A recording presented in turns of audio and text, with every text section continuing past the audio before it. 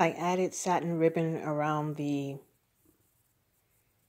mixed media circle, fabric circle, so it seems to bring the colors more together and make it a more cohesive look.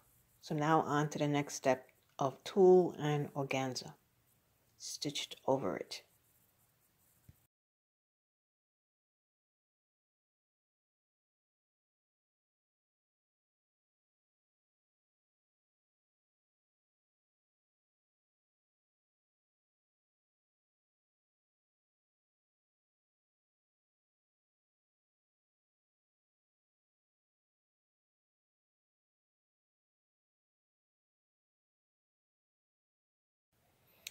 Okay, this is what it looks like after it has been reduced with a heat gun.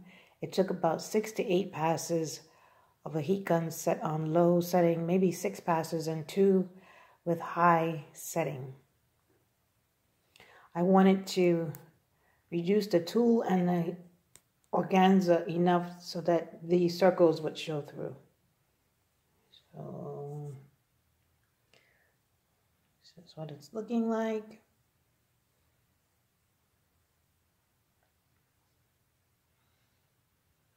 You see the stitching, zigzag stitching. And it's on its way to becoming a book cover.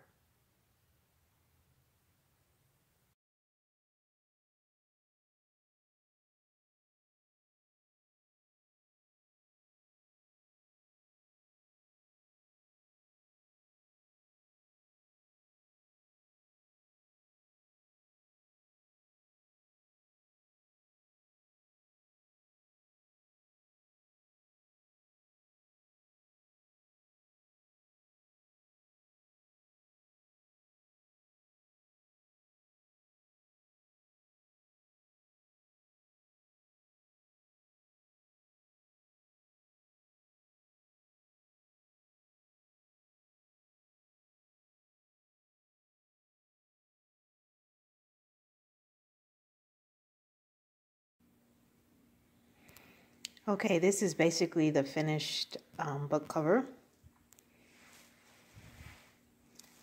The day is rainy and overcast, so I don't know if you really get the, the colors, the true colors, but this is basically it.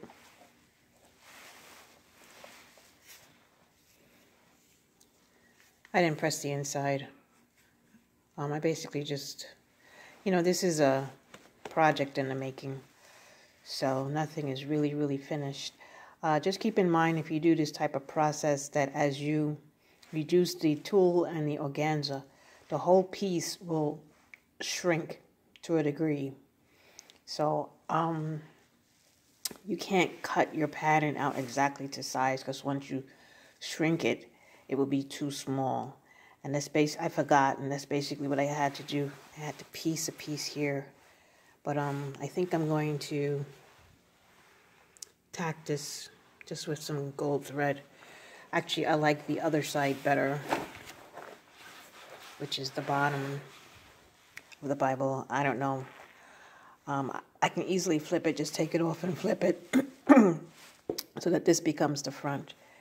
But um, yeah, this is the finished product, and I look forward to adding a lot to my loose leaf Bible as far as pictures and um, sentiments, and um, that's it. So this is another smorgasbord fabric video and how I turned that fabric into a Bible cover, another Bible cover. All right, have a very blessed day. That's it for now. Bye.